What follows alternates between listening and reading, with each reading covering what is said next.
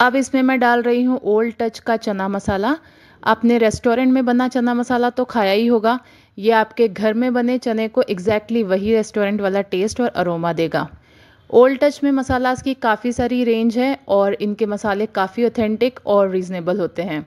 अगर आप इन मसालास को चेकआउट करना चाहते हैं तो नीचे डिस्क्रिप्शन बॉक्स में लिंक दी है, आप उसे क्लिक करके देख सकते हैं।